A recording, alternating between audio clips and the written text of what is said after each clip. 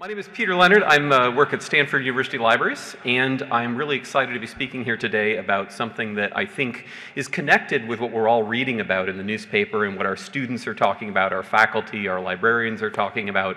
Um, but I'm only going to talk about one of the letters in um, ChatGPT. I'm going to talk about the T, which, of course, as most of us know, stands for transformers. And what I'm really uh, thought about in motivating this talk was um, thinking about all the excitement that all of our patrons and our colleagues and maybe even our donor boards have brought to us around ChatGPT. They've asked us questions like, why didn't the libraries invent ChatGPT? How can we chat with a library? What are you guys doing? There's all this excitement. Apparently, ChatGPT can write all of our papers, it can do all of our homework. Um, but I do think alongside that wonderful service from the for-profit company OpenAI, there's so many other interesting things out there um, that are freely downloadable, that are transparent about how they were trained, um, that are retrainable by us or our colleagues on campus to do things that uh, commercial models can't do. And frankly, things that we can run on our own computers, stuff like $900 MacBook Airs or $1,500 workstations. There's a universe out there that doesn't really get talked about in New York Times headlines. So that's where I want to go. The current moment AI in AI, it's impossible to talk about it without talking about transformers. And um, the math is way above my head, but I think one of the things that's sort of interesting is to think about how often this initial gets used.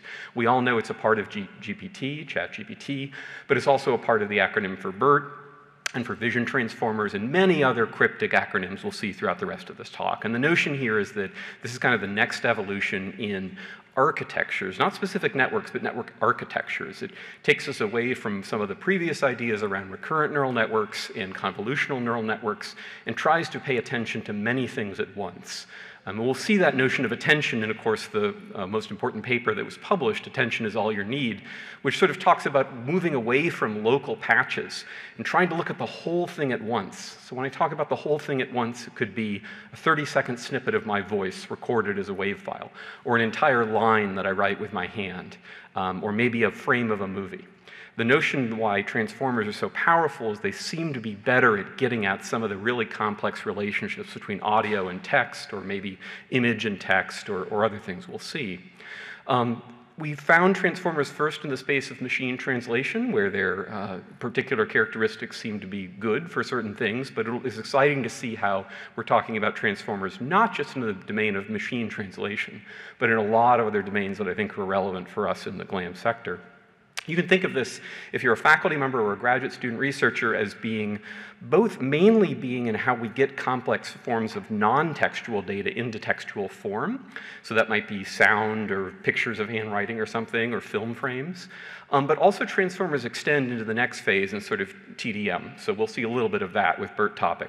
If we're in the library space, we might say that transformer models help us get some of our non-textual data into a place where we can do named entity recognition. We can put them into um, RDF tuples. But they also extend a little bit into that work itself. So we're going to talk about six ways in which transformers, I think, are having an impact in the GLAM sector. We're going to talk about voice to text with Whisper. We're going to talk about um, handwriting recognition. We're going to talk about uh, doing topic modeling on embeddings as opposed to real words. We're going to explore text to image networks with CLIP. Um, we're going to think about the notion of a conversation with an archive, which is something which has come up recently, is still uh, kind of, I would say, in the research domain. And finally, the notion of multimodal conversations, engaging across the barriers of text and image and sound.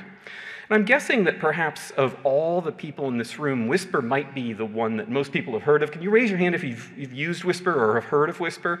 That's the one that's got a lot of purchase. It's a great tool. It is freely downloadable from OpenAI. So despite all my talking about OpenAI uh, and their ChatGPT product, it's amazing that they have open sourced and made available the, uh, the Whisper weights. Um, there are many different types of weights that you can download for Whisper, which is a speech-to-text model. There's versions you can run on an Android phone, and there's versions you can run on a very expensive NVIDIA GPU, and you can make that decision based on performance or multilingual or accuracy or speed. It's probably trained on about 680 to 700,000 hours of text. It was probably trained on YouTube captions, that's the best guess. It seems to not necessarily do so well according to artificial benchmarks, but it seems to do really well in the real world. Um, it's basically this encoder-decoder transformer. There will be no tests on these network architecture diagrams. The only thing I want to point out is how interesting that so much of our analysis nowadays happens to images That strange blue and green square on the bottom left of this diagram is a MEL spectrogram. Our tools for analyzing image data, in this case in PNG form, have become so sophisticated that we turn everything that we're looking at, including sound, into a PNG file and then just analyze that. When we talk about Whisper, and I'm sure this probably mirrors a lot of the experience of the people in your room, um, you can look at artificial benchmarks or you can look against how it does against real humans. On the left here is an oral history from Stanford Libraries, which was transcribed by a real human as part of that oral history project. Really important human labor, uh, domain expertise, um, bringing a kind of editorial judgment to this long-standing oral history project. Um, on the right is, is Whisper, and um, I think it's really debatable which one is quote unquote better. It, we're sort of at the point of like, um, Whisper is in some cases actually capturing more, such as the fact that the person said okay at a certain point in time. Um, it doesn't get the particular abbreviations for Stanford's campus buildings, but that's okay.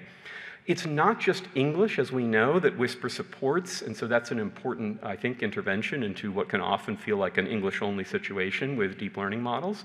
The, it's probably too small to see, but you can see everything from Spanish to Polish down to Galician and uh, Arabic there. Um, it's not every language that is spoken, of course, is on this list. But there are really interesting critical interventions that GLAM and other memory institutions are doing into the WHISPER models, and they can do those interventions because the weights are freely downloadable. So at the National Library of Norway, they're retraining the Finnish weights for the Sami language, the indigenous language in northern Scandinavia. And those of you who have a linguistics background will know that that's the right move, that Finnish and uh, Sami are both part of the Finno-Ugric language. So you can take advantage of the fact that Finnish is there and retrain it for a less commonly resourced language such as Sami. We have some of the Nuremberg transcripts at Stanford, human generated German on the left, whisper large doing German on the right. Um, some of this is actual punctuation differences rather than actual um, meaningful differences in Whisper. So I think that's the, probably the tool that a lot of folks are already using. I know I've spoken with a lot of colleagues and, other different institutions, and they're already deploying Whisper, at least in an experimental um, phase, making sure that it uh, integrates well with their workflows and doesn't lose them quality. I will say that the most recent uh, versions of Whisper, and specifically the acceleration with TensorRT, can lead you doing like an hour of uh, oral history uh, in about two minutes, which is really stunning when you think about our backlog. But one area in which I don't think transformers have had as much impact, and they will soon, is in the area of handwriting recognition, um, and pr primarily with the TROCR model. A lot of, uh, raise your hand if you've ever used Transkribus, the sort of EU-funded Austrian, great. I love Transkribus. Transkribus is amazing. In earlier versions of Transkribus, does anybody know how many pages of ground truth you needed? It's like 80 pages, right? So, which was great in, in, unless you had an 81 page journal that you were trying to transcribe, and then it was kind of depressing to have that requirement. What's interesting about TROCR and other transformers based HTR models is that they are a zero shot. They can work on handwriting never seen before. So you need zero pages of ground truth rather than 80 pages. And there's a lot of interesting papers out there that talk about this, that say that this is a really interesting model that can be fine tuned, but doesn't necessarily have to be fine tuned. The weights, which are available from Microsoft, believe it or not, are freely downloadable. You can get them yourself and train them on a corpus uh, in a particular hand. But what's kind of interesting is you may not need to. This is a letter from the founder of Leland Stanford Junior University, Jane Stanford, writing to a senator. And uh, I can tell you that this had never been, it was not part of the training data for uh, TROCR. Uh, so what we do is we take this line by line, we feed it into a GPU, and we use the TROCR weights and we get basically a great uh, record of what she wrote. This lines that she was writing on this piece of paper, I'm not even sure they're grammatical. I think she lost her train of thought because it's the top of a new page. But it literally is to what is necessary to be done to ensure the success of the University of the Future. Zero shot on top of a hand it had never seen before. Uh, it's not only English, the model weights are English, but you can adapt it to other languages by sort of force aligning if you have a, train, a training data set that you'd like to do, and a colleague of mine um, from Stanford Libraries has done this. Um, and this is not the only transformer-based HTR model. There's an interesting uh, model or approach from the National Archives of Sweden called Saturn. Again, transformers, you see the T in there. They're trained on millions of documents. Interestingly, the Swedes found that they, they first wanted to release three models, one for each century, like I think 17th, 18th, 19th century. They found that performance was better when they combined all models together and released one meta model. This is a letter written by Sweden's most famous author, August Strindberg.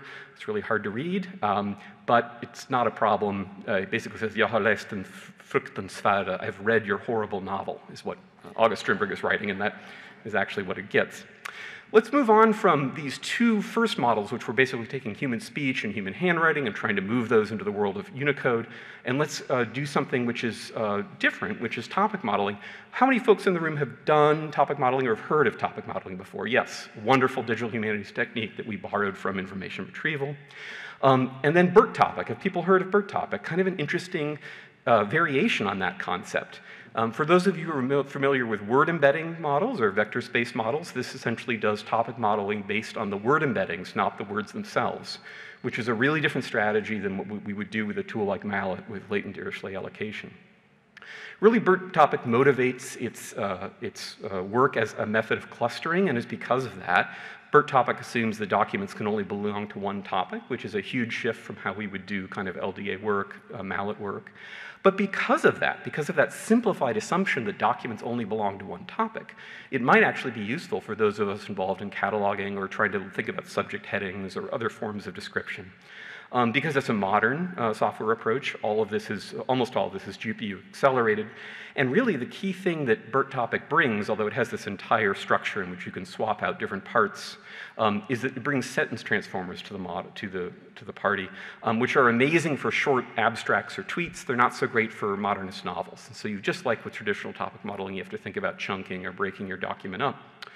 Um, this is a uh, approach on about 5,000 journal articles, and we can see this actually live, in which we created the embeddings, reduced their dimensionality with a UMAP, um, then cluster them. And so what we get here is essentially um, areas of uh, topics in the Journal of Scandinavian Studies. And you can see that there's topics here of articles around uh, EU integration. Should Sweden join the NATO? Should it join the European Union? It's very close to other issues of European integration involving Vidkun Quisling, who had certain ideas about how Norway should join with Germany. So you can see these topics are all here. We're not limited to two dimensions. We can compress down to three dimensions, and there we see other topics existing in kind of the three-dimensional space. Um, you would see that there's kind of something about Strindberg and Bergman kind of in the same space, both in the sort of play and uh, movie area. So that's BERTopic, and what I want to think about next is I've just described how we might use transformers to model or create topic models of abstracts or academic work. But the really good question is for us in libraries and museums, a lot of the stuff we have isn't text. We have at Stanford, we have like 150,000 negatives taken by Andy Warhol, or we have oil paintings in the Yale Center for British Art. And for that, we really need to think beyond text. We need to think about linked text image networks. Um, we would do this in the past with convolutional neural networks, which are sort of ways of describing cat, dog, bagel, banana um, on your phone. Um, and what's different about CLIP is that it is essentially a linked semantic space between linguistic tokens and pixel distributions. So um, CLIP is actually behind. It's one of the very important components inside DALL-E, which is that thing which lets you like type a picture of an avocado armchair or like an astronaut riding a horse. That's the generative AI side of it. This is not generative, this is sort of analytic. And so CLIP are essentially a vision transformer glued to a causal language model from sort of the GPT-2 generation. But here's what's interesting about CLIP.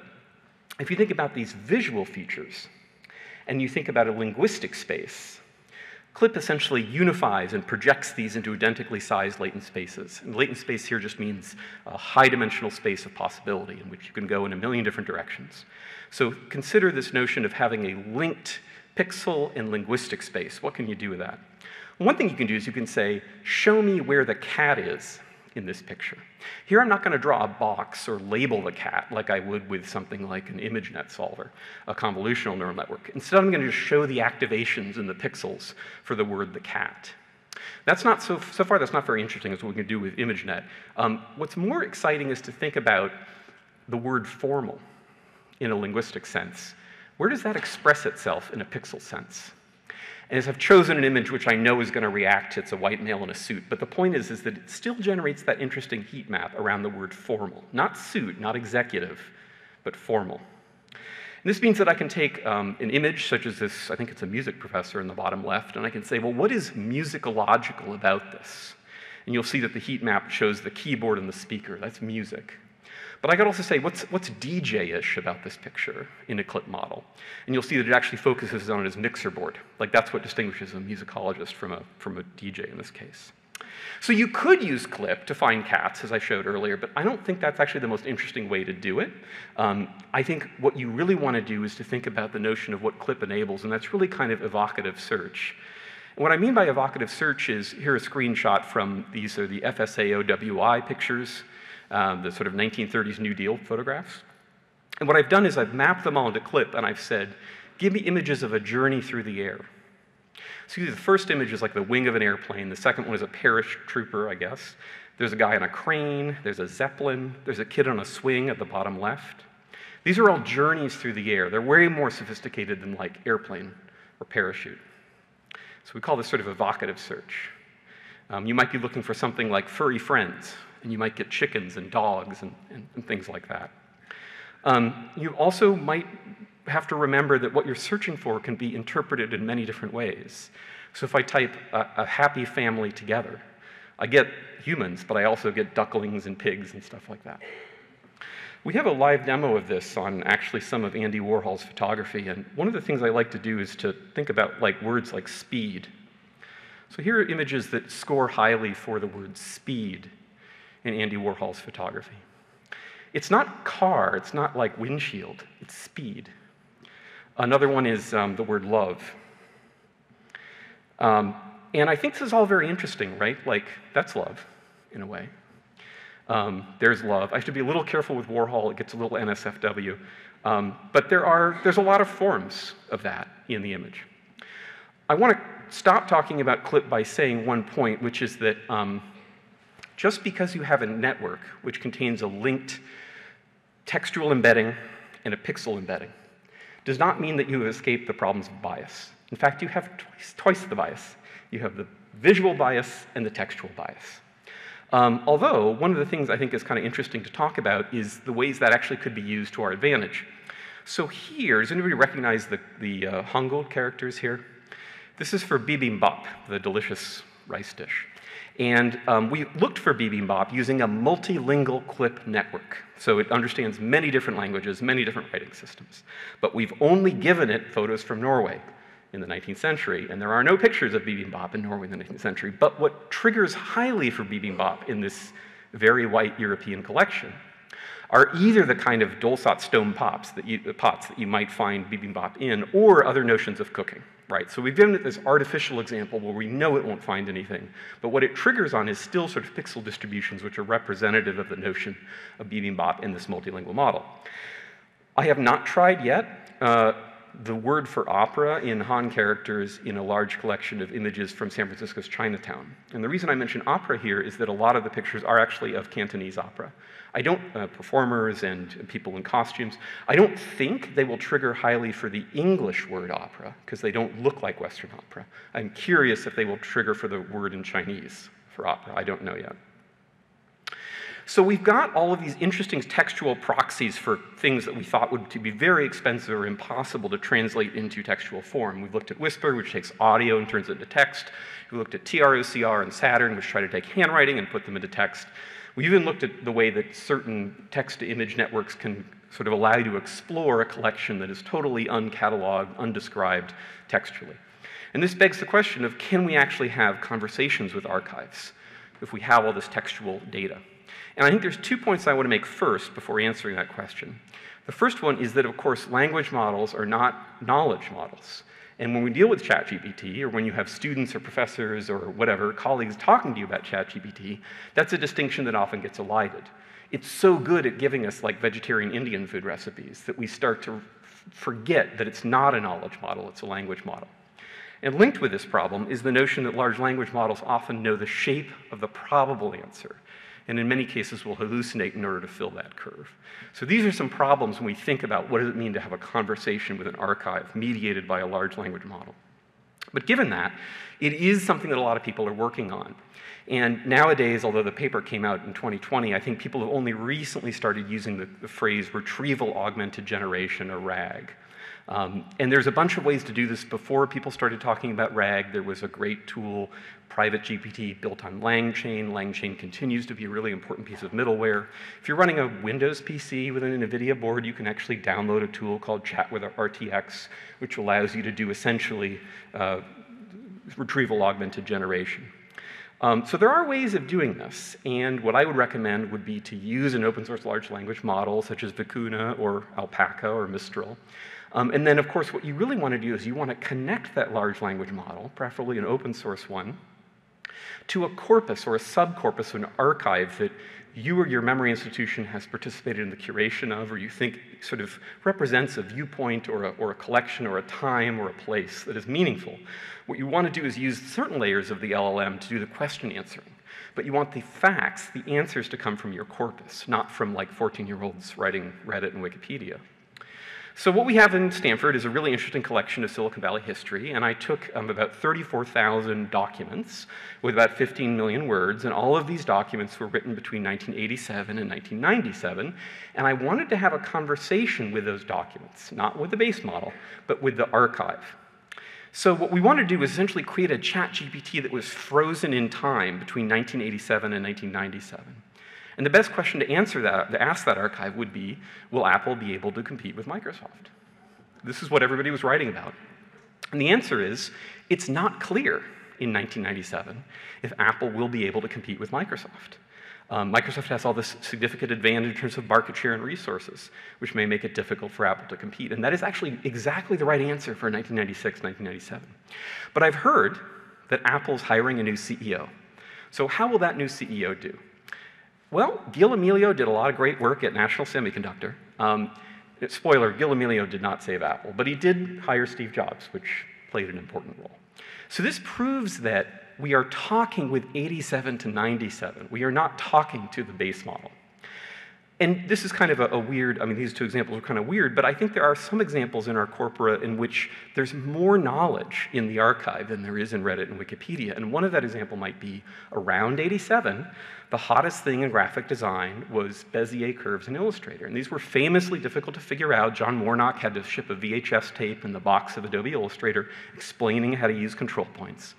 And so what we can do with one of these sort of um, LangChain or, or sort of retrieval augmented generation models is we can ask it to give us information from the collection and then cite its work. Tell us what articles it's using to, to explain Bezier curves. The way it's captured this very interesting interface is correct as a user of Adobe Illustrator. And more importantly, it's citing its work. It's saying, here's an article in December 87. Here's an article in February 88. That's exactly when people would have been talking about Bezier curves. So that's the notion of retrieving sourced information from an archive rather than the base model, which was trained sort of on the open web. But you might say our collections include way more than old dusty computer articles. We have films, we have uh, photographs, we have paintings. So how can we get these conversations into a multimodal situation where we're actually to able to interrogate way more than just the textual proxy? And for that, we have to turn to multimodal networks. There's a lot of these out there. I've just seen in the last like three months an incredible explosion in multimodal networks. I've chosen one uh, from the Alibaba Group, which is based in mainland China. Um, but there are many different models you can choose. Um, this one works in English. And there are some interesting technical tricks that it uses in order to be able to basically understand text and image, sort of the tasks of image comprehension. And it's easier for me to show this to you than to tell you about it. Um, does anybody recognize this picture? This is the former president of Stanford. Uh, who, who, left his post, let's say. And um, one of the reasons he left his post was that he was accused of research misconduct by a student journalist, Theo Baker.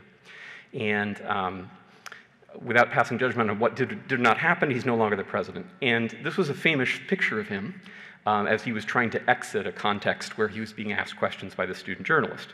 So we asked the mPLUG-Owl model, what is the attitude of this man? What's going on in this picture? And it says it appears to be in a hurry. And his posture the way, and the way he's walking indicate that he is focused on his destination and trying to reach it as quickly as possible. And this is true because the student journalist is behind him, trying to ask him a question. Does anybody recognize these people? These are former Apple executives. That's John Sculley in the middle, and that is Michael Spindler to his right. Um, but what if we talk to this multimodal network without letting on that these are executives? And what if we ask the question I think most of us have in our mind right now is, pretend these people are starting a Norwegian death metal band, um, what would their band name and their album title be? And so what this mPLUG-Owl model comes up with is that they're the, the Forsaken executives, and the first album is Echoes of the Boardroom. Um, and the theme is corporate power and the potential destruction that it can cause. Now, here's what's interesting. This was my real prompt. I didn't say, what are these executives' first album called? It was able to read this picture and understand that they were executives, and then construct the joke. Uh, our art librarian, Lindsay King at Stanford, had a bunch of really interesting work that I think just came in that she acquired, and she asked the, uh, the multimodal uh, model, why might somebody be interested in looking at this picture? And the model comes back and says it's a unique and creative representation of a woman playing tennis. That's true. Um, it's done in a black and white style, not true, although it's not like a full photograph, so I'm forgiving it that talking about timelessness and elegance. It does mention that it's a dynamic pose, that it's holding a tennis racket, and it appears to be in the middle of a swing. Um, it can evoke emotions. I mean, some of this is LLM cruft. You can all recognize the way ChatGPT talks nowadays. But the point is, it can see the picture and it can interpret it. Um, this is a still from a 1971 film um, called Walkabout. And I wasn't sure what the model was going to say about this film. Uh, it could have said a bunch of stuff that would have been horrible. But I'm glad it only said this. It said that it was surprising to see a boy dressed in a sort of public school uniform in the desert, because this is unexpected. And that, I think, shows us the power of these multimodal models. They're able to find what's interesting or contradictory or unexpected in images. And I think my last example from mPLUG-Owl is this, and I apologize for the video quality. I was so happy this worked, I just like like an idiot, took a picture with my phone of a screen. But what you're seeing is actually a video from Carolee Schneemann, who was a very important uh, artist working from the 60s and 70s all the way through uh, when she passed away. Schneemann's archives are at Stanford University. And this is a film. It's MP4, you can see at the top. It's a clip of a kind of installation art, a, a piece of conceptual art that Schneemann uh, did and that we have a video of. And I didn't capture my prompt, but I think I said, what is happening in this movie? And it said that it, it doesn't get it 100% right, but it talks about a wooden horse bridle hanging from a wall. Um, it has a leash attached, which is dangling. The horse bridle is surrounded by colored lines. It's done an amazing job of comprehending what is not an object like a cat. It's not an object like a skateboard or a bagel or a banana. It's able to kind of capture what's going on in this, even if it is using 100% of the right terminology.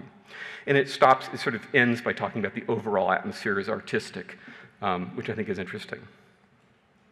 So in this talk, we've explored a whole bunch of ways that transformers can be useful for cultural heritage work, taking voice into Unicode text, taking manuscripts into Unicode text, doing topic modeling on embeddings, not the words, and using it all with GPU acceleration with BERTopic.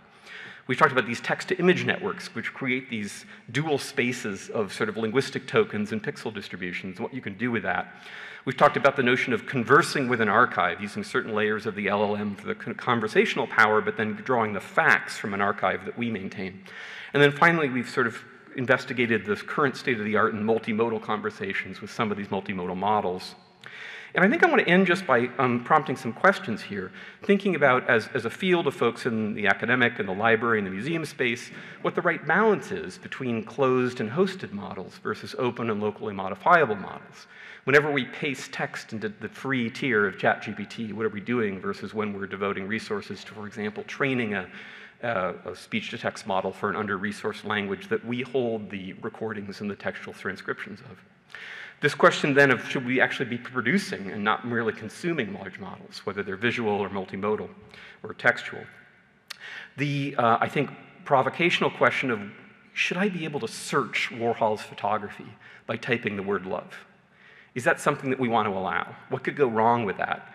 But how, what would we gain by letting people type those types of abstruse questions into the search box? Um, this question of once we get all this text out of the oral histories and the video recordings and the manuscripts, how will that change LLMs?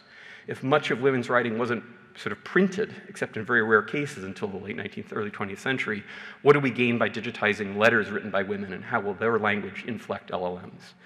The future of image description in this world of evocative search, when not everything maybe needs a caption. And then finally, how far are we away from a world where we can just say, show me every scene in a Bergman film where there's reconciliation? That's actually a null set. But you could imagine other examples in the filmic tradition in which we can sort of query for these things and have them appear on our screen. And with that, I'll stop.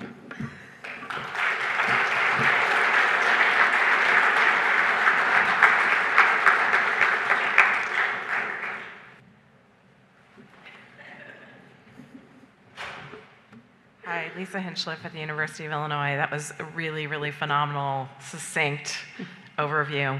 I'm curious as you're um, thinking through the outputs that you're seeing here, is at what point do we sort of ask ourselves as well to what degree, if these things are being output, should they be also sort of captured, if you will, even one might say published? Mm-hmm. Um, what is what is the what is our role, or do you have thoughts? Let's mm-hmm. put it that way about the role of like basically you're pulling stuff out of an archive, you're mm-hmm. creating something new. Mm-hmm. Is that an ephemeral object? Is that a moment that is just for the person in conversation with the archive? Mm-hmm. Or is there something that's about sort of like the, the republishing, the extending the archive in some way with that? Yeah. That's a great question. I sort of hopped right to the end user, but I could imagine if you were a curator or a librarian or an archivist who had accessioned or described or helped to purchase or whatever um, a large visual collection or textual collection, that these tools would have curatorial function as well. Um, at the Beinecke Library many years ago, I think Nancy Kuhl curated an exhibit on blue, just everything blue from the Beinecke, but expertly chosen, you know, albums called kind of blue and, and blue things. Um, and you could tackle that through, through a whole bunch of non-machine learning AI nowadays. But I think that notion of uh, it becomes really powerful when there's somebody using this who isn't new to Warhol's photography, but who's seen a lot of Warhol's photography. What would she or he gain from that interface? Um, and could those then be uh, make their way into, for example, a spotlight exhibit or something like that? Thank you for this uh, fantastic talk and showing us a little bit of, I guess, I wanted to say the future, except for you're showing it to us, so it's already there. Um, the question that I have is around the idea of prompt engineering and sort of querying these archives and these collections in all the different formats that we have. And, and you showed some fantastic examples, and I'm actually curious about uh, the, your success rate because you showed the successes, but you didn't show, or at least I don't recall you showing anything where you're like, I tried a prompt and it completely failed. Right. So I'm just curious if you can talk a little bit about, you know, how how you fared getting to this point uh, that yeah. led to this great talk. Thank you.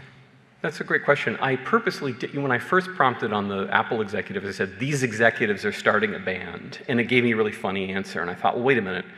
I just told it they were executives. Can I go back and not tell it that they're executives? And I was happy that that worked. One thing I think that unifies the commercial, non-downloadable, closed source models like ChatGPT and the open source models such as Vicuna is that they are non-reproducible, non-deterministic, totally stochastic.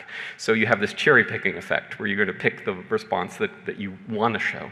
Um, that's kind of like the XKCD comic we saw in today's uh, keynote. Um, I do think you're right about prompt engineering, and there have been archives that I've been had, I've made mistakes in asking questions of. You get not wrong, but partial answers when you imply a monolithic answer to a question. What was the response to historical event? And the fact is there are probably thousands of responses to a historical event, 9-11, assassination of Martin Luther King. So asking an archive like that, it's a great example of how it knows that it needs to say something about an outpouring of grief and sorrow, and, and that's not wrong. But if, you, if we prompt it differently and to say what were some of the varying um, uh, responses to the 9 11 attacks, um, what were some uh, responses from folks who didn't feel like their perspectives were re reflected in the media, this also, I think, um, requires us to think about how comprehensive our archives are how much are they representing voices that um, maybe weren't part of CNN or C-SPAN or something like that. But I do think that the best way to learn how to prompt this stuff is to try it on collections that people in this room know and, and maybe have spent a career building, um, because then you have the best chance of figuring out, is this actually giving me something new, or is it just producing a probable answer? Carol, yeah. Hi, Peter. Can you hear me okay? Yes. Yeah, great. Thank you so much, as always. Um, great to hear what you're up to. Um, I have a question, and it's really coming out of what we've seen around um, sort of the fury around AI, the, um, I don't know, I, the, the real desire for people to attribute meaning to LLMs, right? How that real, and so as you're working through these, you're thinking about sort of you know, people accessing this material, accessing collections. So we're thinking about user experience. Mm-hmm. We're thinking about people coming in, to these collections and maybe getting it in through evocative, as you mentioned, search, which I don't know if it's yours or not, but that's a great term. Um, and so my question is, how do you envision, knowing what we've just been through with LLMs, how do you envision kind of framing these kinds of searches for educational purposes, research purposes? So, sort of, how do we imbue this with the literacy, mm-hmm. the information literacy that I think all of us endorse? Right. Right? It's a great question around that user expectations and the fact that people have, on one hand, people haven't had a chance to build up a set of expectations around LLMs, except on the other hand, they, they have, because they've been using it to do their homework or write their grant reports or stuff like that. But I agree, as memory institutions, as the GLAM sector, we have a higher standard to meet. There are all sorts of defective experiences in searching large cultural catalogs. I remember when I was at Yale and they were building the terrific Lux product, the, the search across all Yale collections from natural science to British art.